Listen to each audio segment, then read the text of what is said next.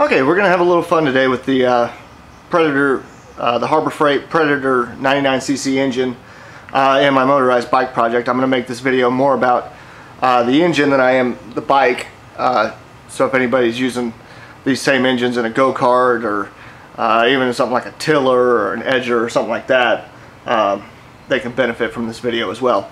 What we're gonna be focusing on today is swapping out the spark plug.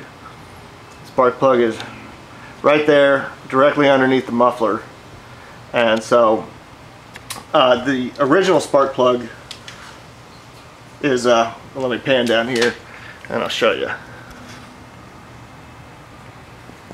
This is the specification sheet uh, that came with the with the engine. The factory spark plug is called a torch. That's the brand. The part number is E7TC and before I ever started this engine, I pulled the spark plug out and I checked the gap and I wrote the gap down. It's 0.027 uh, spark plug gap. And the reason that I did that was because I wanted to uh, check it because I had that little 66cc two-stroke engine in this bike before I did this four-stroke swap. And in that engine, uh, I installed an NGK spark plug uh, the part number for that spark plug was B as in boy, 5, H as in holiday, S as in Sam. So B5HS and it was a NGK plug. And uh, that plug, that spark plug in that little engine made a significant uh, improvement in the performance.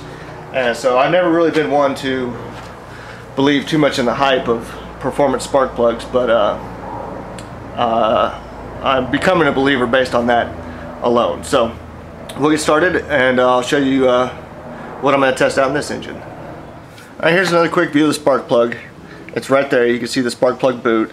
And in my application, I'm going to have to take off my muffler to get to that uh, just because of the uh, how I've got it mounted in this bicycle. Uh, they do kind of give you this little relief right there to get the uh, spark plug wrench in there. Uh, and the kit uh, does come with the spark plug wrench. Uh, you get one in the box. Um, but like I said, I'm gonna have to take the muffler off uh, to get to my spark plug. All right, if your situation is like mine in that you have to take off the muffler to get to the spark plug, uh, these little nuts right here take a 13 millimeter uh, wrench or socket.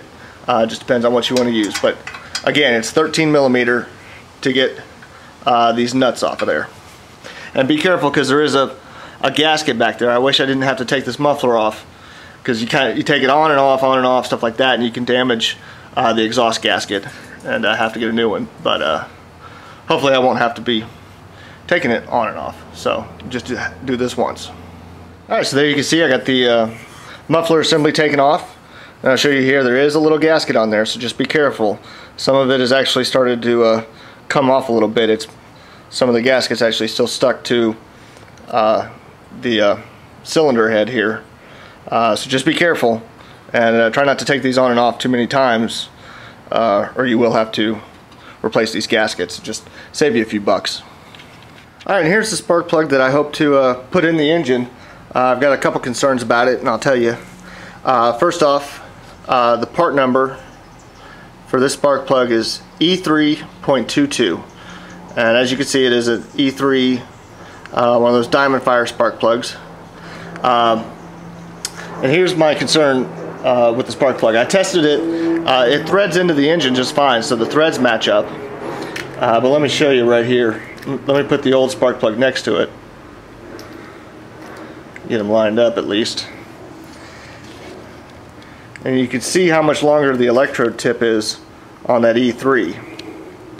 Um, I mean, that's a good quarter of an inch. And I'm a little worried about it. I'm hoping that uh, that the uh, little tip doesn't come in contact with the top of the piston. Uh, so I'm going to be testing that thoroughly uh, before I start this engine.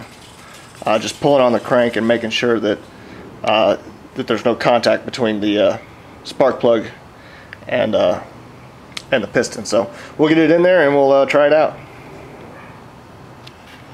All right, so I got the E3 spark plug uh, threaded into the uh, into the cylinder head there, and I'm going to pull on the uh, pull cord a few times, just make sure that there's no contact between the uh, piston and the spark plug. Pull it slowly. Yep. Definitely. Well, that's a bummer. So that spark plug is way too long uh, for this application. So uh, I'm gonna have to return it and uh, see if I can find one that's a little bit shorter. Well, through the magic of editing, it seems like I was not gone at all. But I was gone for about an hour, uh, doing some research online and at the store. And uh, sorry about that, bumping the camera. Uh, it doesn't appear that E3 uh, has a spark plug that's compatible with this. So I went back to the auto parts store and got the NGK B5HS. Now that is NGK's part number. Uh, usually the store part number is that one above it. It's 4210. So uh, check with your local auto parts store uh, before you go uh, buy stuff online. Um, it's quite likely that they could have it. I mean, uh, this is the second one that I've had to buy. I, like I said, I had that 66cc uh, two-stroke bike engine uh, on this thing before, and this spark plug was a considerable improvement. So uh, we'll give this one a shot on this uh, four-stroke uh, Harbor Freight engine. Alright, and here you can see the uh, two spark plugs. Obviously the one on the right is the the old Torch spark plug, and the one on the left is the new NGK.